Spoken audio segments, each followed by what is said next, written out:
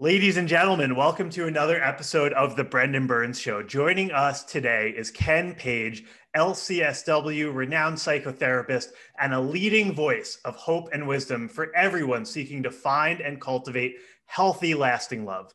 He is the host of the Deeper Dating podcast and co founder of deeperdating.com, which is a new way for single people to meet online in a way that's warm, respectful, fun, and inspiring.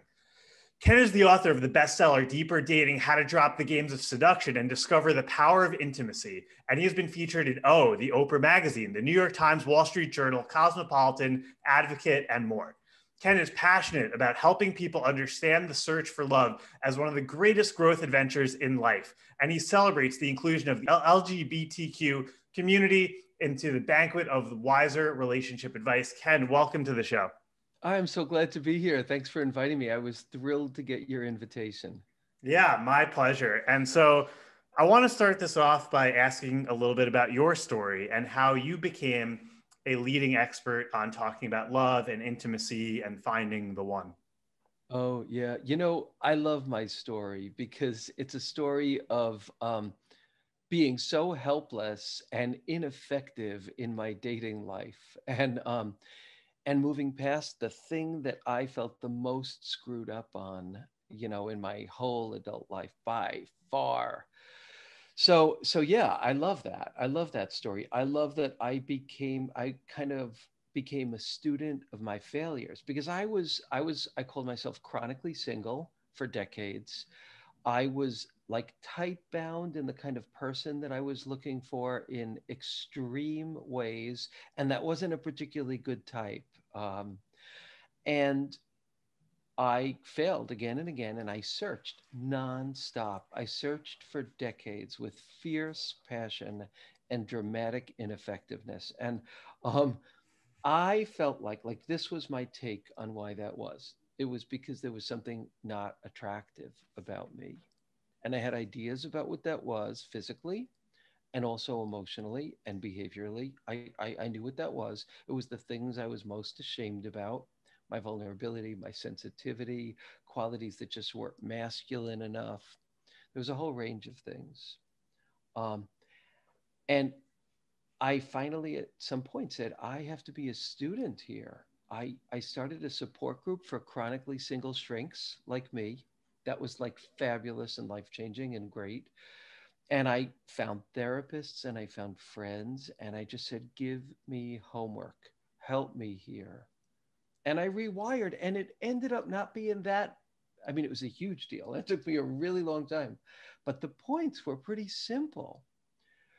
But the piece, there were so many important pieces when I started tackling this as a spiritual journey as opposed to a dating game.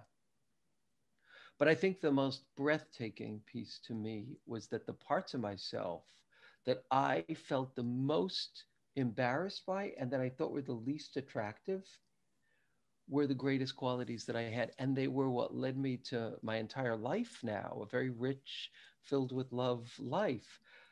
But they were the qualities I was most embarrassed by. And then I found out this was universal.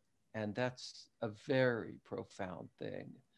And I'll just say one more thing about, well, a few more things about my story. So, one thing about my story is that along the way, I was learning these lessons, I was teaching them, I was writing a book called Deeper Dating, and I was as single as ever.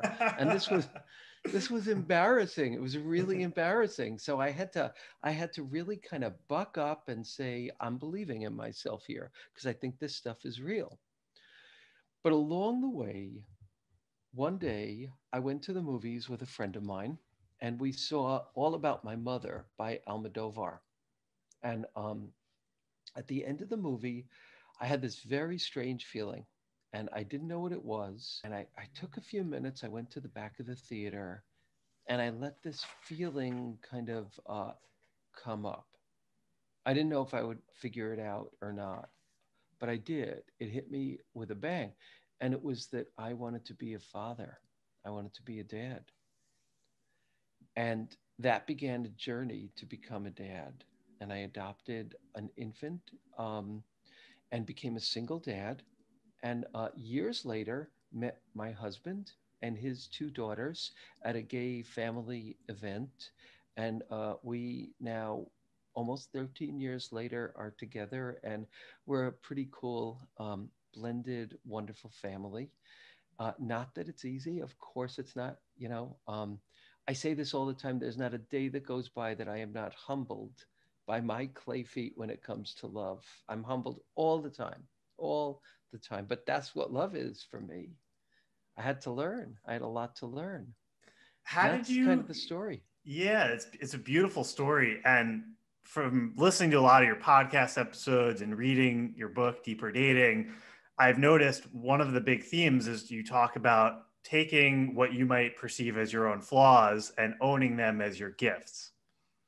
Yeah. Could you could you talk about that process and how powerful it might have been for you and how powerful it could be for the people you work with and, and what that would look like to actually show up on a date and what is it like to own for example with me i've done a lot of work to overcome my anxieties and my anxiousness and lack of trust from my past mm.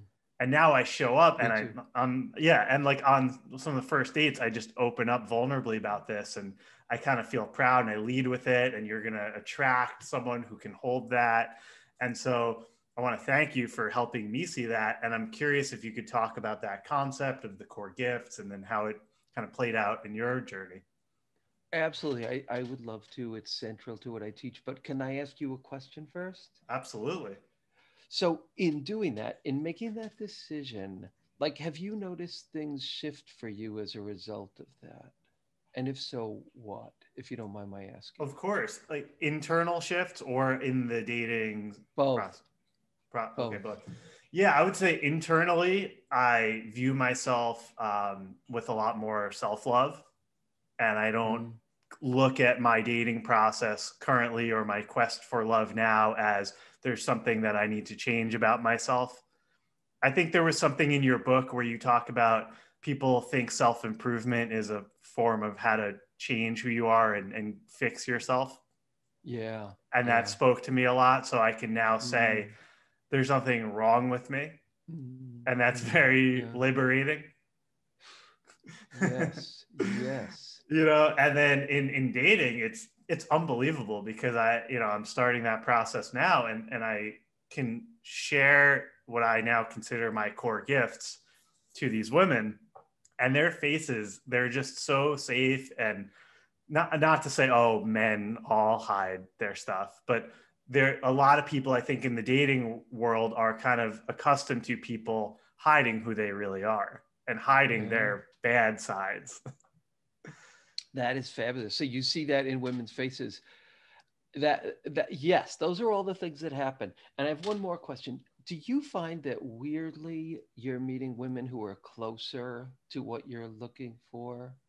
Of course Oh yeah, I mean, I isn't that I, amazing? Yeah, of course. I mean, it's it's really unbelievable how and how quickly it's happened. Where, I'm so thrilled. I'm so yeah, thrilled. Like like That's we so were great. we were talking before we started the show about how I was in a hotel room with someone I was dating at the time, and I was she was sleeping. I'm listening to this podcast. Like, oh my god, this is I need to hear this guy Ken stuff, mm-hmm. and how quickly um, I sort of once I started to accept my core gifts then the level of the consciousness and love of the women that I was then starting to go on dates with just went from here to here.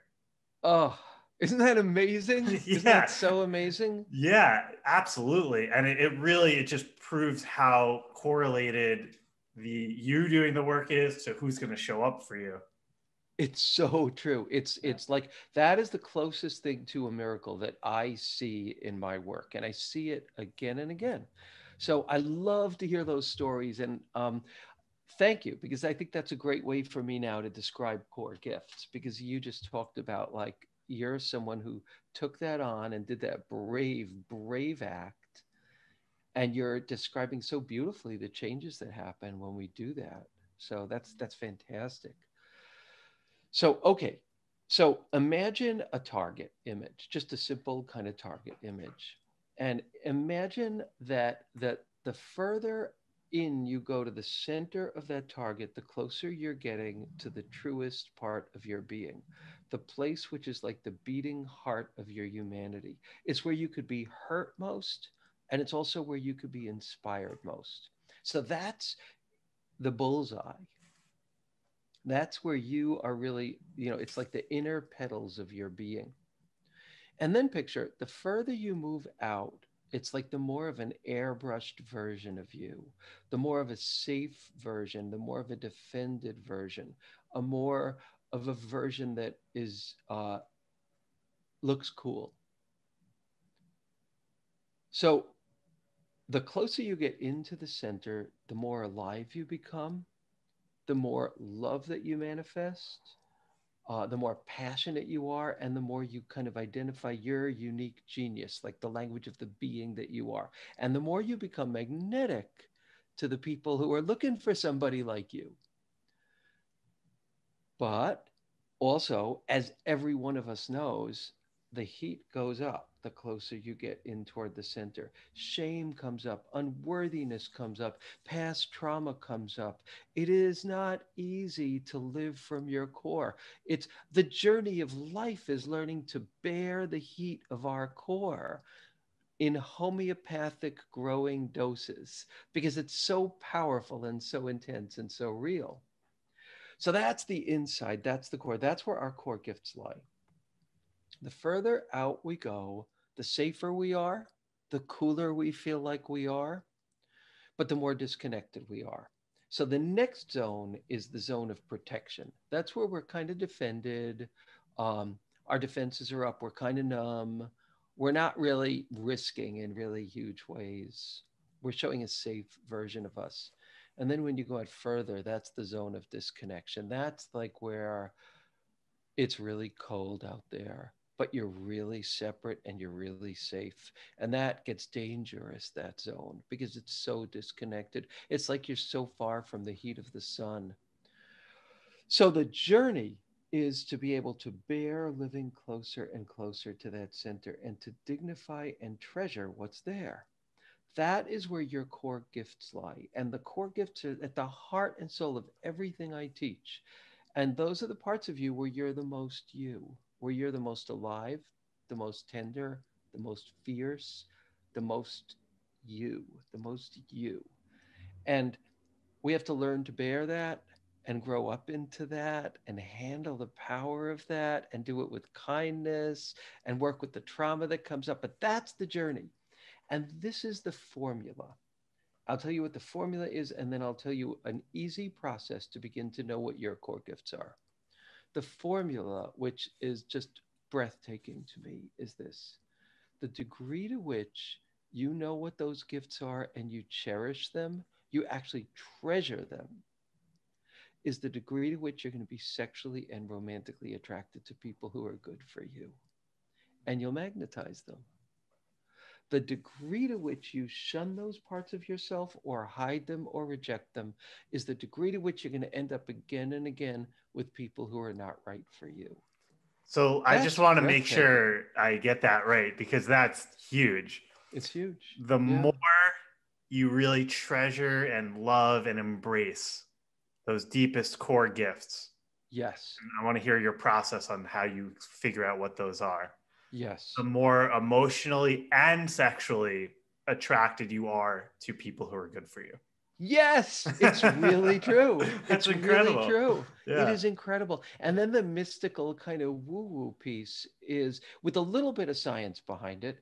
Um, is that the more you do that, the more you notice those people. And there's a research-based principle called the principle of instrumentality, which is, you know, a highly researched attraction principle which is the more somebody meets your goals, the more you'll notice them and be attracted to them.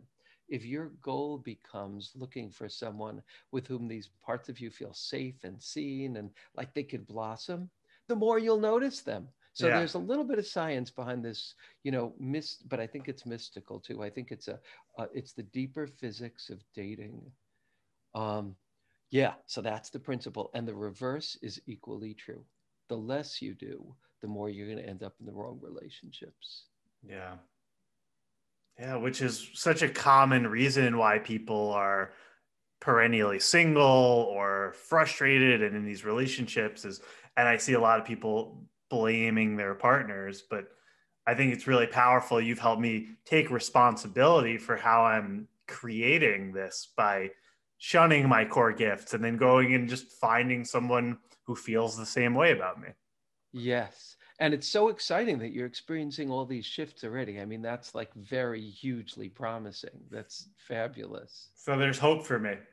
Big kidding. hope. I'm just kidding. but no, I know the feeling because that Yeah. was my feeling was like there is, Yeah. there wasn't hope for me because I just, this is how I got it. Like in my head was like, there's an it about attractiveness and I don't have that it. I just don't have it. And that's why I keep failing. That was my deep, deep belief until I learned that this was really what was going on. Yeah. So could you talk about maybe some examples of core gifts for the listeners? And then it sounds like you have a process for how someone can identify what their core gifts are. Absolutely. Absolutely. Yes. Yes. Um, and then later on, I'll tell you how people can, you know, for free get uh, get that process. Yeah, that would be you know, great. I, I've website. heard that sometimes you give away parts of your book, and we obviously have your deeperdating.com that we want to share with everyone too. Right. Yes. So I'll get to how you can get the chapters that teach you how to do this, but I can give a nutshell that I think is going to be is going to be really helpful. Perfect. Okay. So your core gifts are the places where uh, life fills your heart the most and hurts your heart the most. That's how you know. You have the most kind of emotional nerve endings there, both for pain and for joy. And they're kind of universal. Core gifts are kind of universal, but they're also like they're like fingerprints. They're universal, but they're all really unique. So for one person, like intense truth in a relationship is like their oxygen. They need it so bad. For another person, it's close connection. It's just different for each one of us. We all have flavors of those things. Everybody wants truth and integrity. But for some people, yeah, because our core gifts demand a lot of refined fuel. And every core gift needs its own fuel. And that's part of the journey is knowing what that fuel is. So core gifts can largely be divided into two categories. See, everybody you could think about which which of these categories you have core gifts in. You probably have cate- have both. And if you're listening to Brendan's podcast, there's no question but that these gifts are alive in you or you wouldn't be here. So so one set of gifts is sensitivity. That's like tenderness, an ability to uh, to um, notice shifts in mood and in energy, in connection, and you feel that stuff really strongly. And I want to say something because you talked about anxiety, um, which I share, Brendan. Um, people with an anxious attachment style or an insecure attachment style often have a tremendous core gift and that is a deep sensitivity to nuance of connection. So, like somebody often with an anxious attachment style can be in a group of people and everyone is fine and they're just cringing because something happened that hurt or something's going on that's off and they're just so uncomfortable in their own skin and they think man am i anxious? But what they really are is registering so that's like the secret gift of people with those attachment issues. And the secret non gift to people who have really secure attachment styles is they often numb those parts because they want to maintain the security and solidity of their capacity to attach, which is why they could be such a perfect combination together. Right. Um, anyway, so one category is the category of sensitivity, intense sensitivity. The other category is one of passion and intensity. So if you've been told you are too much, you're too intense, you ask for too much, you need too much, you demand too much, if you've been plagued with people telling that, telling you that, I can guarantee that you have gifts of a size of capacity for passion that is bigger than other people have. If you've been told you're too sensitive, and a lot of you have been told both of those, I've been certainly told both of those um, in my life. if you've been told you're too sensitive, oh, you're too vulnerable, you're like too fragile, you feel stuff too much, um, you're high maintenance in either of those two ways. If you've been told that, you have core gifts of deep sensitivity. If you, uh, here's another one, is like a gift of, of needing com- connection. So if you're someone who really registers when connection is off or not happening, and it makes you anxious and it causes you pain and it makes you chew your nails or be really uptight or like, you know, want to get a dopamine hit from somewhere, it just, there's an emptiness inside it bothers you you expect more connection deeper connection. That's a core gift of connection really caring about connection. So i guess it's really i've always said there are two sensitivity and intensity but i think that there are three and it's like a, a, depth of feeling around the issue of connection. So those are three categories. Um, obviously i developed this as i learn and um, three categories that core gifts fall into and here's how you could discover your own. There's a lot of different ways.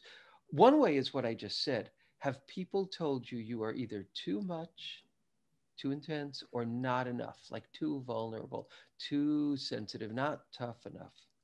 Guaranteed your core gifts lie there because our core gifts, our deepest places of insecurity, are X marks the spot where your core gifts lie. It's just really true. So the way to discover that, in addition to knowing how people have like put you down, the qualities you've been put down for, your core gifts lie there. The other way is to ask yourself, and you do this, this is like a two day exercise. Two days, have a journal or have your phone and note down every time your heart feels hurt by an interaction with the world or another person. Just note it down and then think, what could this say about what a gift of mine might be? Because I obviously am caring a lot about this, like more than I even think I should. And it's the points we care the most that are our core gifts. And you do the same with the things that hurt you and yeah. also the things that fill your heart. So so let's say something happens where it really impacts you, a situation, uh, an interaction, something like that how do you like what specifically do you look at in that situation to help you extract what your core gift is? Good good good. Yeah thank yeah. you. So so let's say something hurt you. You ask yourself what hurt me? What is it that hurt me? And at first you'll just tell yourself you're too sensitive. That's the warning sign to kind of keep going into this adventure but you think like what hurt me? What if it actually made sense? What if this was not just my neurosis? What if i'm picking something up here? What might that be? And then what does that touch about what matters most to me? Like just a story about that. I was with a group of people and uh, we were with someone who was an artist who was brilliant but very self-involved.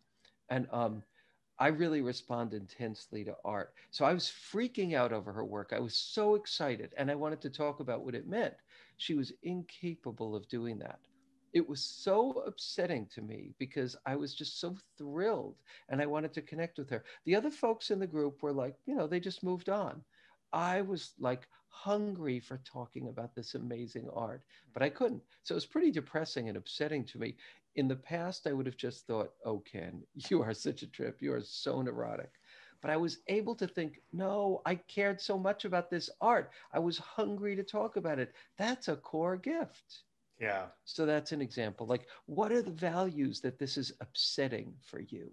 Yeah. Yeah. I mean, when I think about some recent situations, it helps me see that some of my core gifts are definitely around sensitivity and mm. and the ability to emotionally connect and perceive and obviously that can trigger pain in me but instead of saying you're too sensitive you're too emotionally dysregulated it's about saying wow look at how connected you are to what's happening here and totally. and, and kind of totally changing the frame there around right like like in a yeah. way like look how big your heart is in yeah. this situation yeah so uh yeah definitely continue if you have other ways to kind of connect with your core gifts. I do also want to ask you about attractions of inspiration Ooh, ver- versus yeah. attractions of deprivation because yeah, and then talk about that. Yeah, and then along those lines, like you know, when you talk about, oh, if you're attracted to someone 10 out of 10 and they make you weak in the knees, what that means.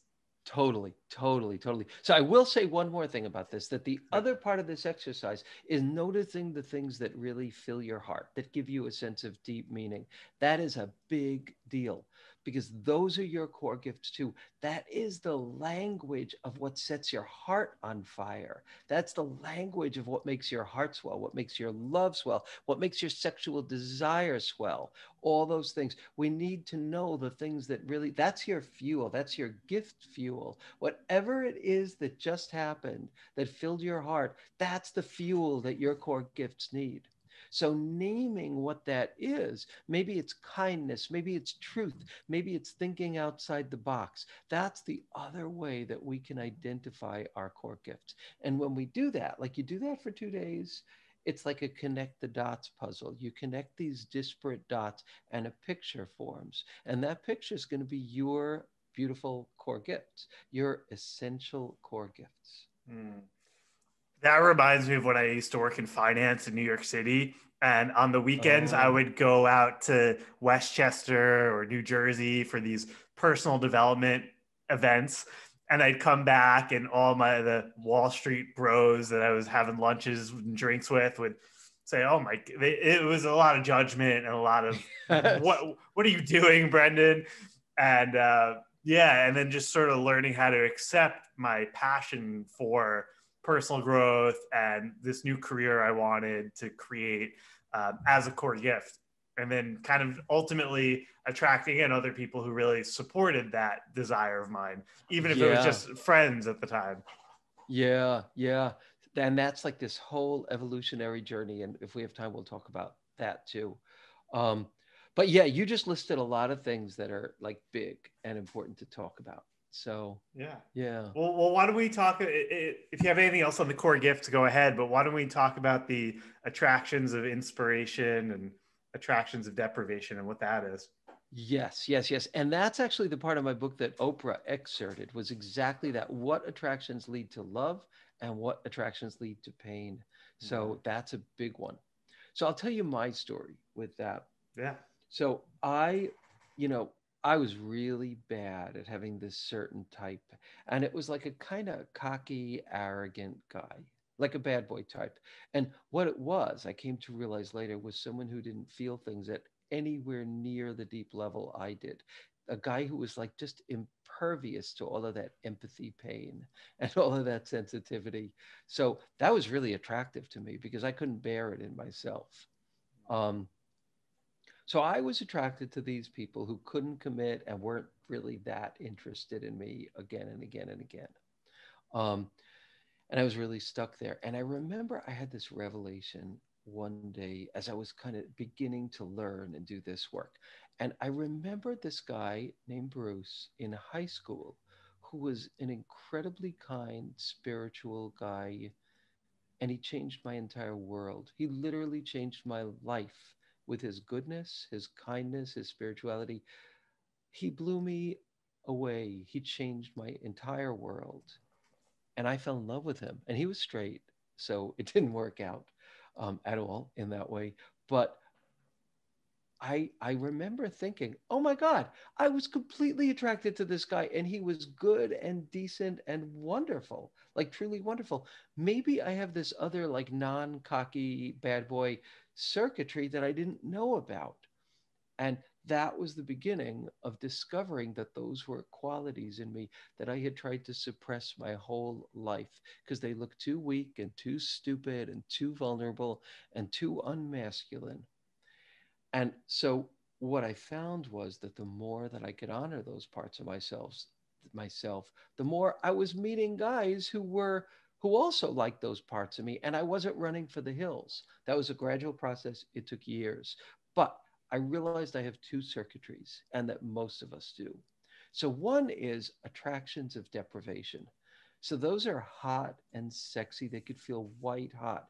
And like, because it's like, you know, that's a very sexy thing when you can almost have something, but you can't have it. I mean, that's so much what happens even in a committed relationship. It's like the sexiness of the parts that are still like, oh, I get to do that. I get to touch that. Like, there's there's an excitement about that which is um, secret or hidden or not so available. So we get so attracted to people who are not available or they're almost available or like they almost love us right or they almost could touch us in our deepest parts but they don't again and again or we have these transcendent experiences with them and then they're gone or whatever i mean if you're human that just grabs you and it feels like love but it's really kind of the path to hell those are attractions of deprivation, and it's an entire circuitry, and we could get lost there for years. Yeah. So, uh, and I'll say one other thing about that. Like the thing that makes it so sexy is it hits the place of I'm not good enough, I'm not loved enough, and if I could just do fill in the blank, I'll finally win that love. That's really an intense pull because that goes way back. Yeah. Um, and couples theory shows us that the people who are like crazy exciting, like nines and tens, like you were saying, people that make you weak in the knees, often are that way because consciously you see their good qualities, but unconsciously you register this person is risky. This person might not be able to love me. This person could betray me. I don't feel totally safe with this person, but, but I could win them over. So unconsciously, that's what's going on. You're finally, you're going back to the scene of the earlier crimes to finally get loved right. Those are attractions of deprivation. And um, I thought that was like what I was looking for for decades.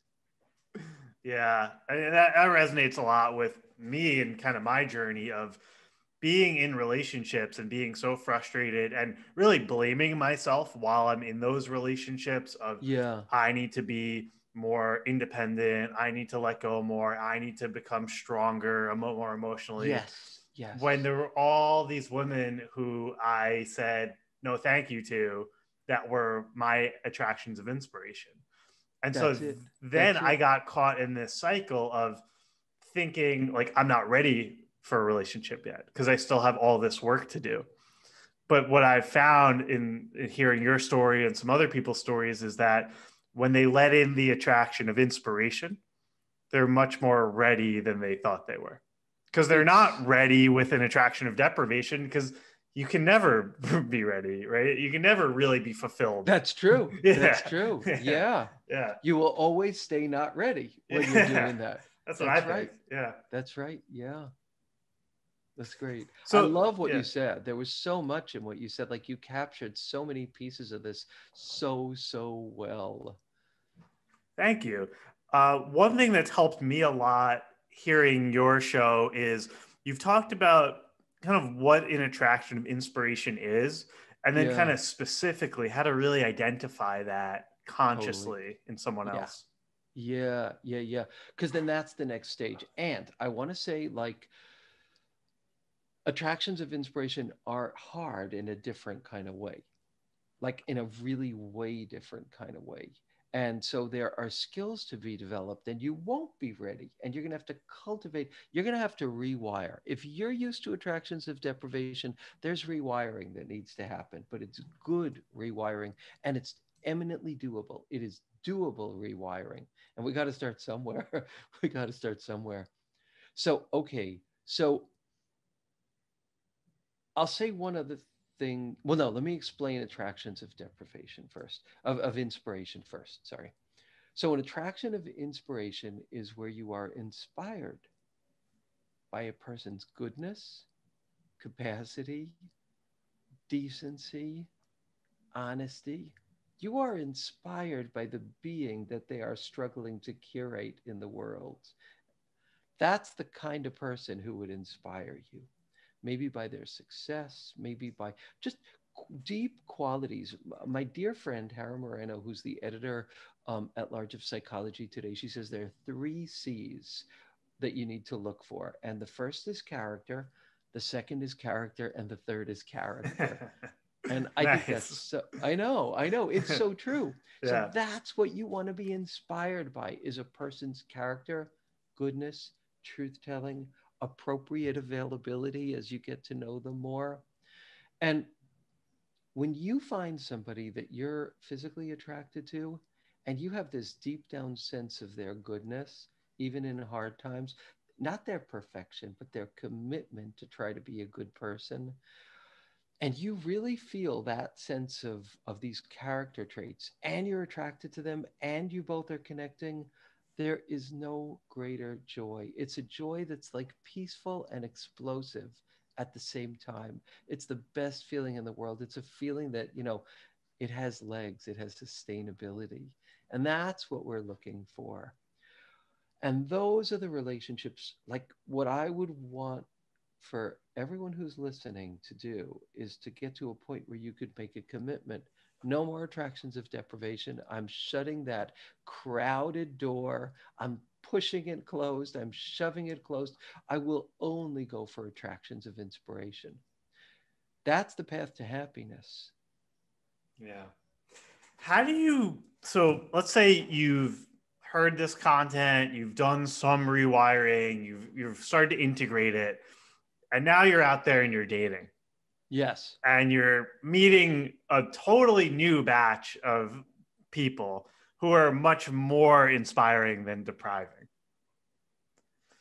But how do you really know? And how do you say, you know, because it sounds like it's a sliding scale, it's not totally, binary, totally. right?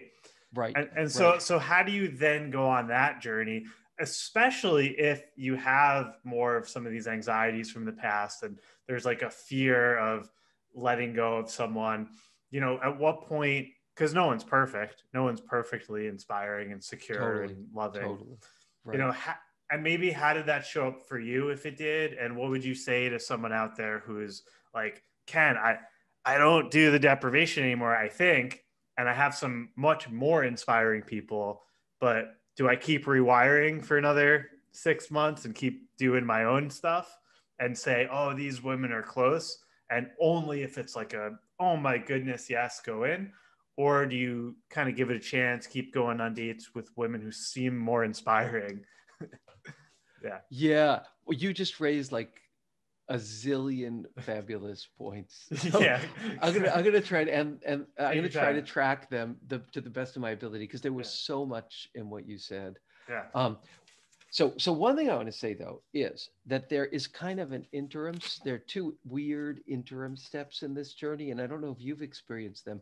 But so one of those steps is that it's not like you necessarily only just start meeting a better quality of people. That does happen, but the other thing is you say no more quickly. Like there's this discrimination stage where you're like, uh-uh, no, like much, much more quickly yeah. And that's a really important piece of this. And then the other piece is there's this very quirky thing that happens also, which is like when you make that decision, often there's a period where nothing happens. It's like, what? There's none of these bad relationships, but nothing new is coming in. What is up? And that's often a stage two. So I just want to make room for those complex stages because, you know, it's, it is complex. It's a rich process. Yeah. So then, in relation to what you said, though, um, it is absolutely a scale. And this is a question that I love. This is a question I love. And I think that we should make this our number one question when we get out there to date. Our number one question. There could be a, there there has to be a number two and a number three and a number four. But the number one question is does my heart feel safe with this person?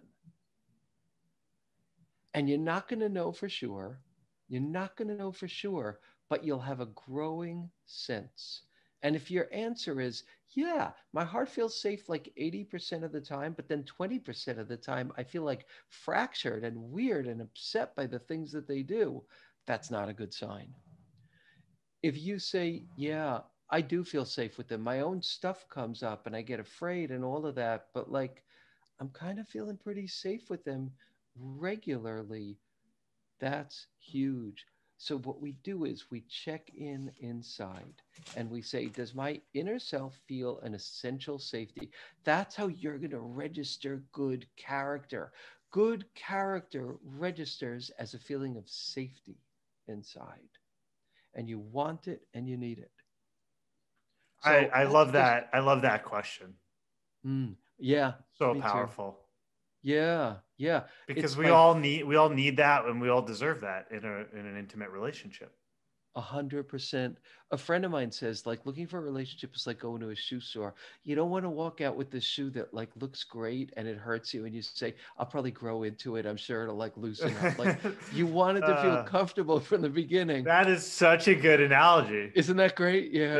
Yeah, you see this shoes, you know you're gonna hate them, but they look so good, and so you just buy them, and then you have physical pain, and you're frustrated all yeah. the time.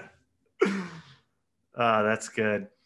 Uh, yeah yeah i love that so then obviously you have to be physically attracted obviously there need to be other things too but when you make that your first question it's like a necklace with a million parts but it's like a cascade and one part is the top and you it's all a mess and then you hold it up and the first part leads to the next parts which lead to the next parts that kind of cascade happens when you start with does my heart really feel safe with this person Yeah, and I'll just say one more thing about that. You know, in my intensives, there was someone who said to me when I brought this up, she said, I don't get that at all. I think that's like bullshit because how the hell am I going to know if my heart feels, I can't tell. And she said, I've been in a lot of relationships where I've been betrayed again and again.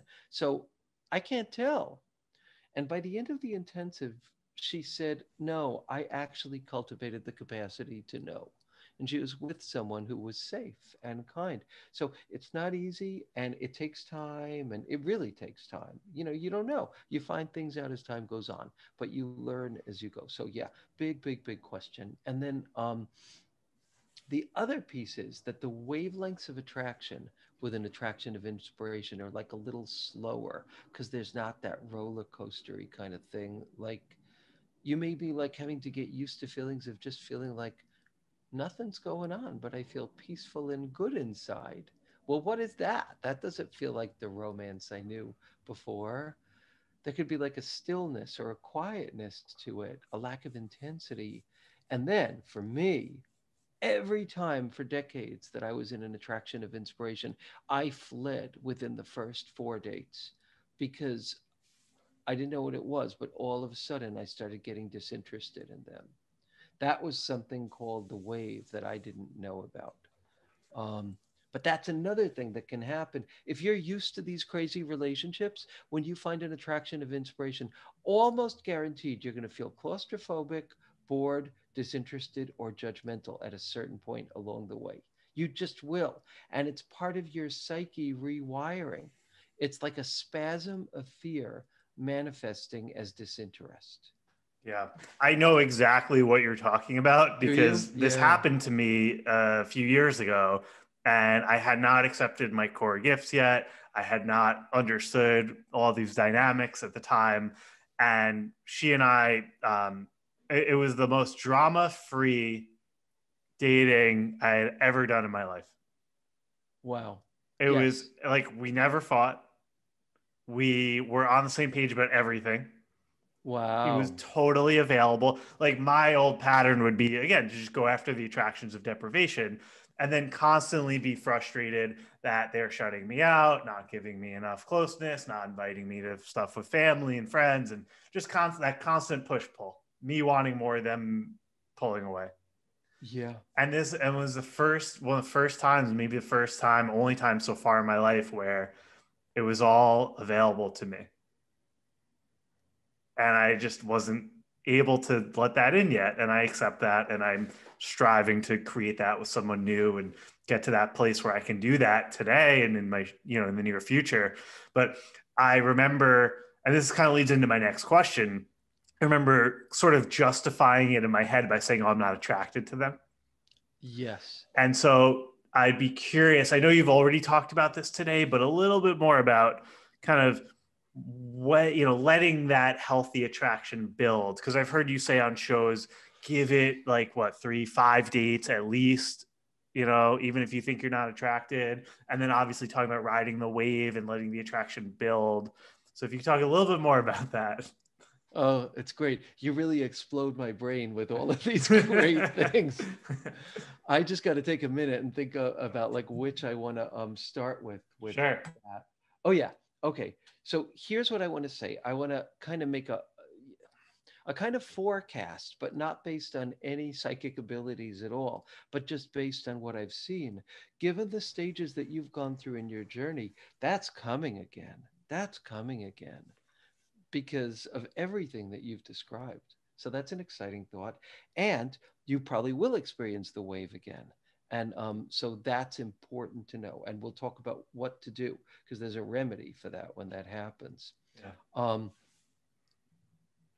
okay, remind me again of one of the pieces other than that of what you said. That yeah. So so let's get to how, how, to ride the wave in a minute. But before okay. then, just a little bit more on kind of how to know about physical attraction. Oh, when, yes. when am I using physical attraction as excuse to pull away from an attraction of inspiration? And when is it valid to just say, you know, I mean, I'm sure it's always valid, but like when is it okay, I'm actually not attracted to them? Right, absolutely. So I have tons to say on this. It's a it's a really interesting subject, important subject. So one thing I want to say though up front, you have no obligation absolutely ever ever ever ever to be with someone you're not attracted to yeah. because they're a good person. You are not obligated at all. It does not mean you're not spiritually advanced. And i promise you there are people out there who you'll be physically attracted to and who are attractions of inspiration and that's what you need. So i want to say that first. And um, I want to say that, like, I think it's good to give three to five dates before you have full on sex uh, for a million different reasons. The biggest one being sex too early is like Miracle-Gro for your fear of intimacy. You're either going to get you're either going to get clingy or you're going to want to run away. Chances yeah. are, or you'll like just make the person into like you know uh, a booty call kind of person. Yeah. So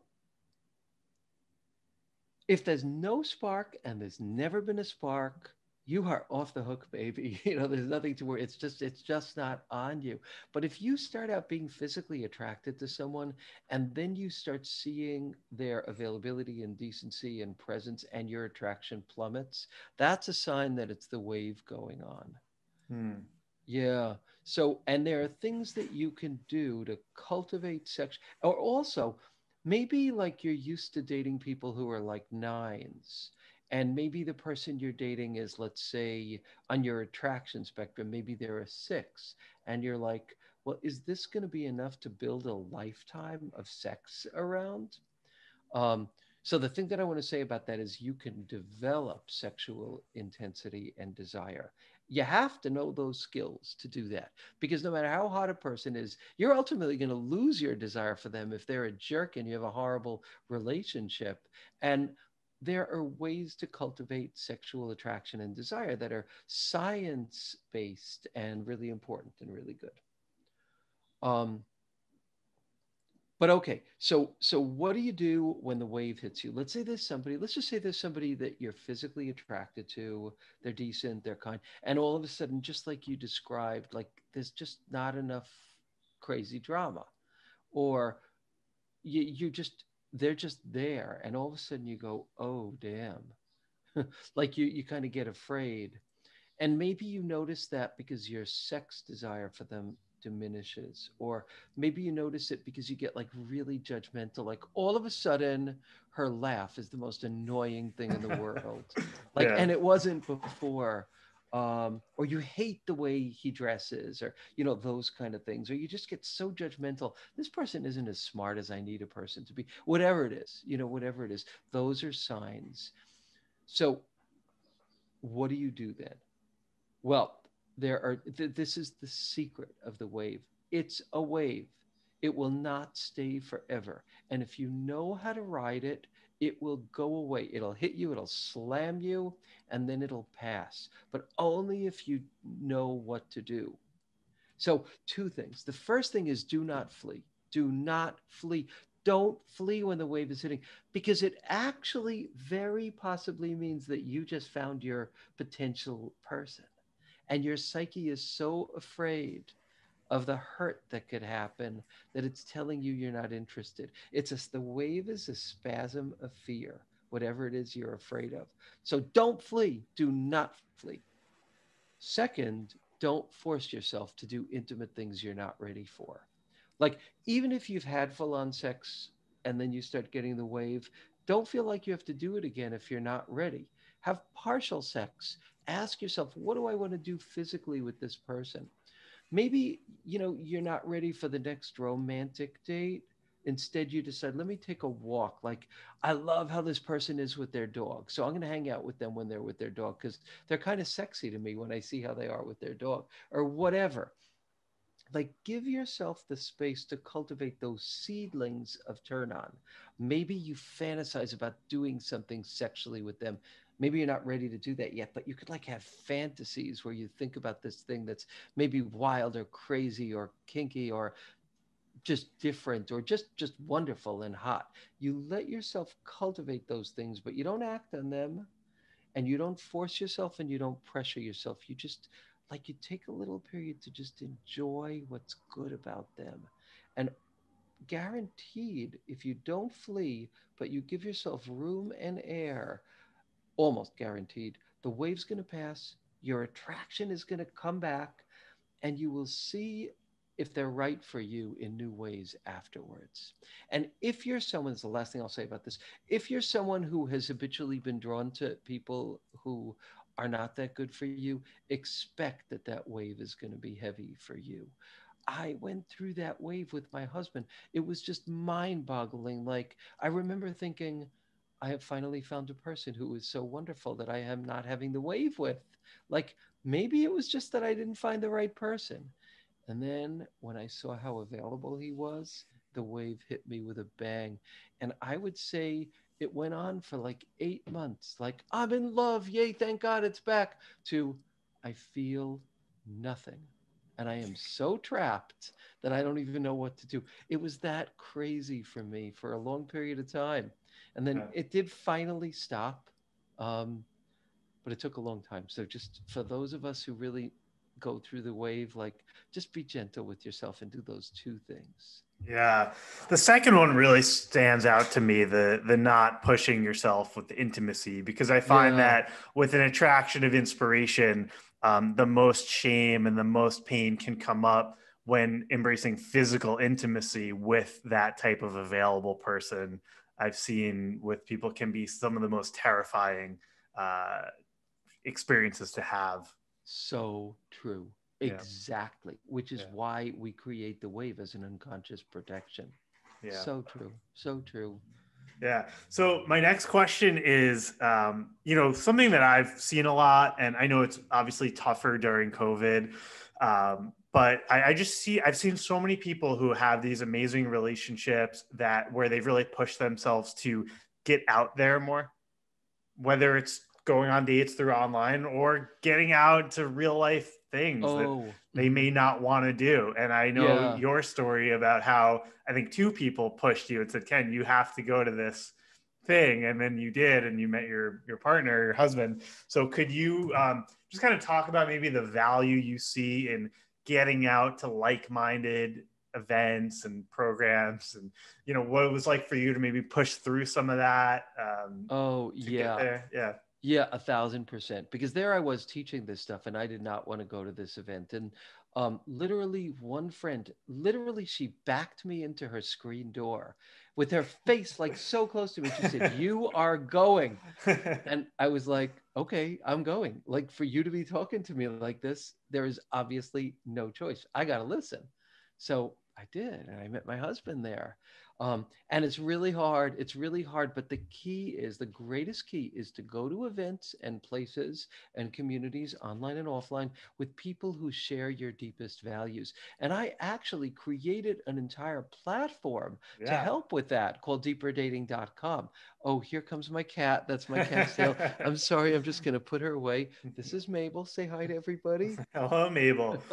yeah. T- yeah. That. No, no problem. So, t- yeah, tell us what deeperdating.com is. Oh, yeah. Yeah. So that's been a life work for me. Um, I created deeper dating events when I first um, adopted my child and I had an infant, and it made me think, how can I hope she doesn't jump on me from from the back? Um, uh, and I thought, how can I create an event for people who don't have a lot of time and are serious about finding love, like me. What would be an event that I would dream of going to? So I created an event. It started in the gay community. It got a very explosive response and spread to a lot of other communities uh, where people would get together. I would give a little talk, and then I would break them into small groups, and they would answer questions like, talk about something in your house that has a lot of meaning for you that someone gave you Mm. or um, talk about a relative that you always enjoy seeing at family get togethers. You know, fun, enjoyable questions that help people kind of really show who they are. And they would meet in a lot of different groups and then they would exchange numbers. I always wanted to create this online. So it turns out that my husband is an emerging technology expert. And so we built a whole platform to recreate those events, and it's called deeperdating.com. And it's a way for single people to meet in a way that's respectful, kind, fun, and inspiring online. Because this is this other thing I want to say about circuitry. Circuitry is everything when you are in your zone where you're connected to your gifts and you go out there and date like that, you will notice different people. You will speak to different people. You will make different choices because you're engaging a much more wonderful circuitry than if you're swiping really quickly or you're afraid and uptight and you're trying to show your cool self. So, this is an event that engages that better circuitry. So everybody can go there, deeperdating.com. You can meet people with events or without events. We are now building, we're getting incredible, exciting response from some of the world's biggest apps about this and some of the world's biggest researchers. So that's incredibly exciting to me. But it is what I believe is that that online dating has looked for quantity, novelty, and immediacy as the yeah. ways to draw people in, but it's left out the secret ingredient, which is intimacy. So, my commitment is finding ways to build intimacy on a platform itself, as opposed to just after people meet. Um, yeah, something I really believe in. No, I, I love that you're doing this. It, I think there's a huge need for it. Um, a platform that's very sort of mindful and spiritual and, and loving focused as opposed to you know swipe right, swipe left. Let me get a date tonight. Let me get a hookup. Um, so I, I, really commend you for what you're doing here. Oh, uh, I, I, definitely encourage everyone to go to deeperdating.com. Uh, I know I'm going to be checking it out. And you know, one sort of question I have related to this is, what advice would you give someone as they're making a, uh, a dating profile online? Because again, we're talking about core gifts, and how can you be vulnerable? What would you recommend someone put on their dating profile that they might not normally put up there that you would yeah. say is a good idea? Yeah, yeah. So I would say, like, don't worry about being witty. Do not worry about being witty. People get really worried about being witty. Some people are naturally witty, and that's glorious and that's great. But if you're not like this witty, witty person, don't worry about needing to be that the photos obviously you want photos where you look good but also you want photos that like your friends would say oh that's that brendan glow. That's you. That's the you i love. Those are the photos you want because they will really magnetize the right people. You got to have those photos there. Talk about things that inspire you. Talk about people that inspire you don't get too into what you don't want. Don't go through a litany of what you don't want. You know what you don't want, and that's good and that's fine. But don't go through like a huge litany of that. Talk about what you do want, what's important to you. Show your vulnerability. Don't be afraid to say what matters to you.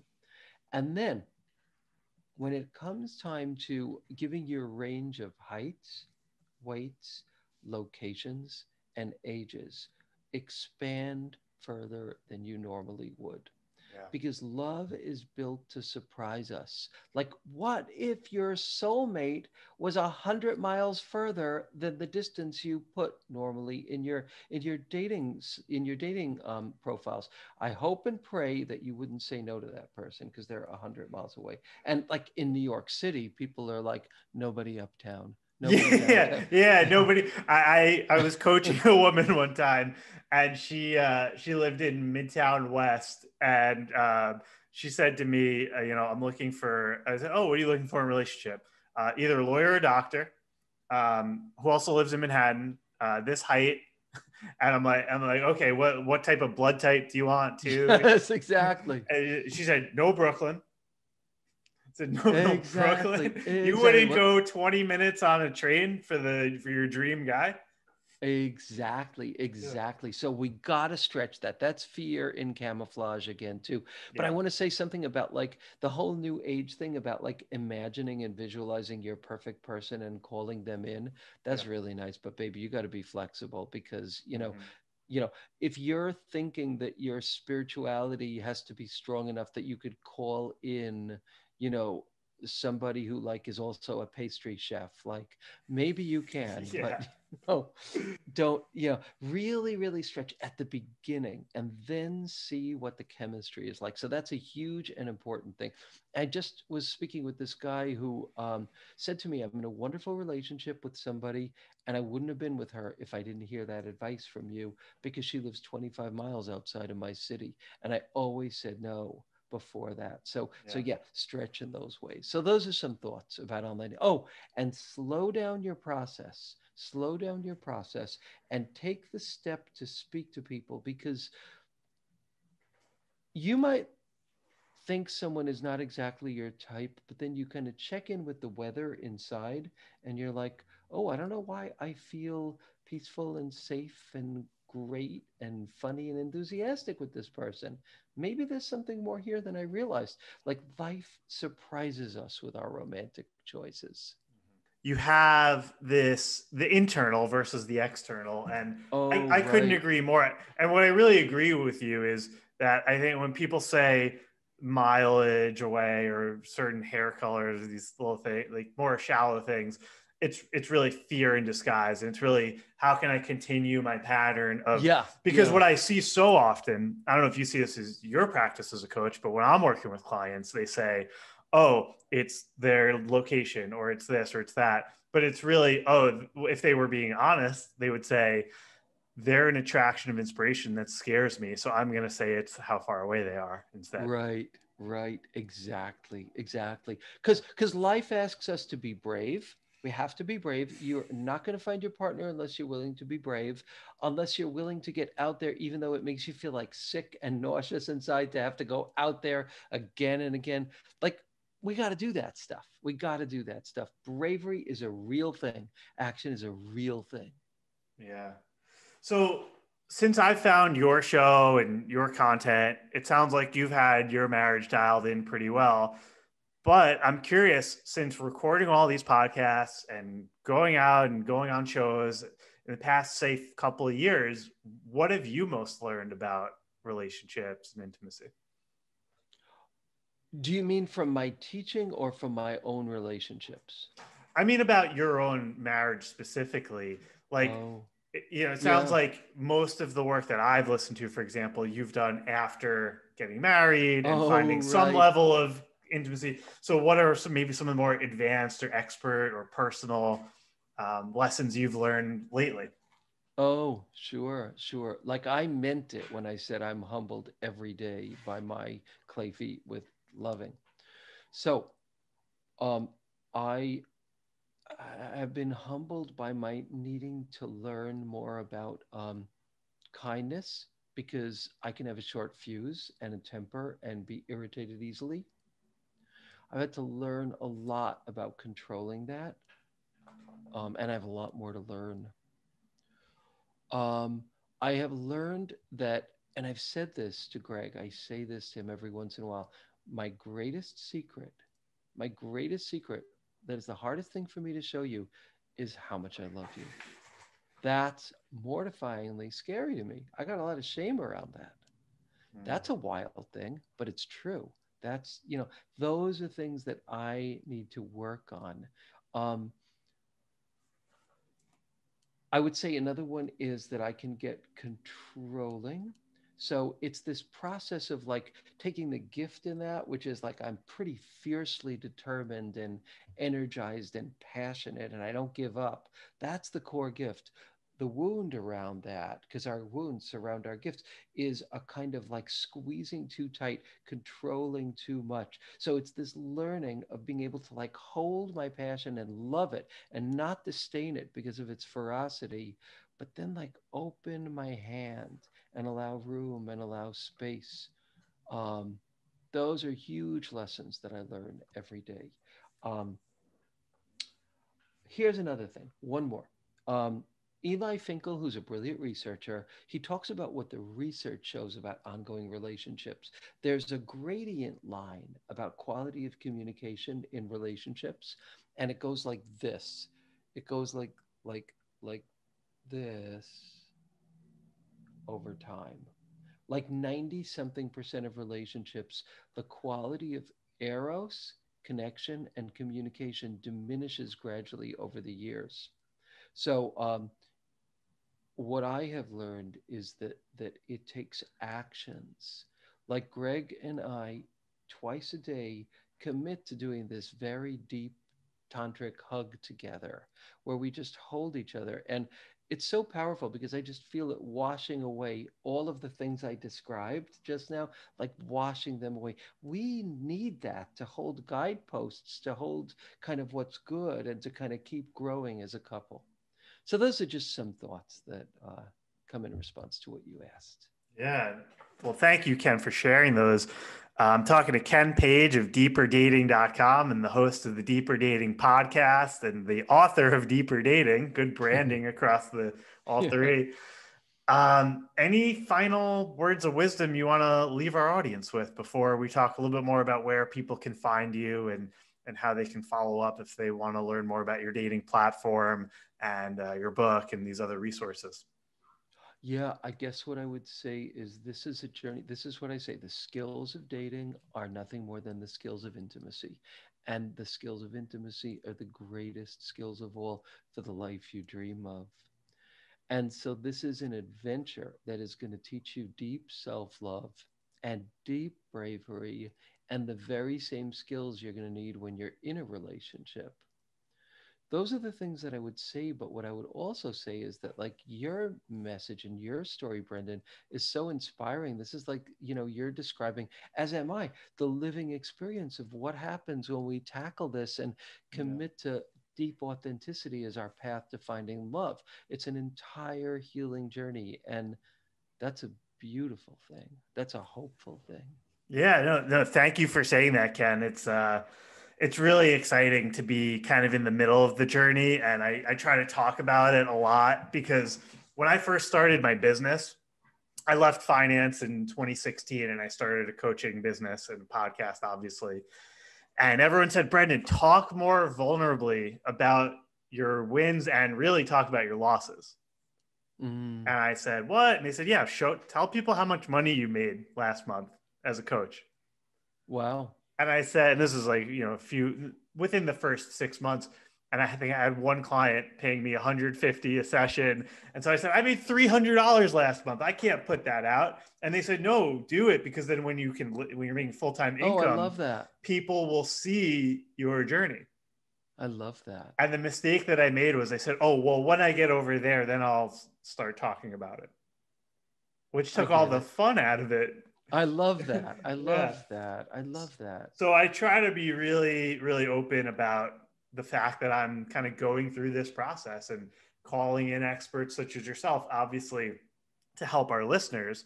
And I have, you know, I'm so grateful. I have things on the wall. I have, I call it a love chest where every time someone writes in about the podcast, I put it in.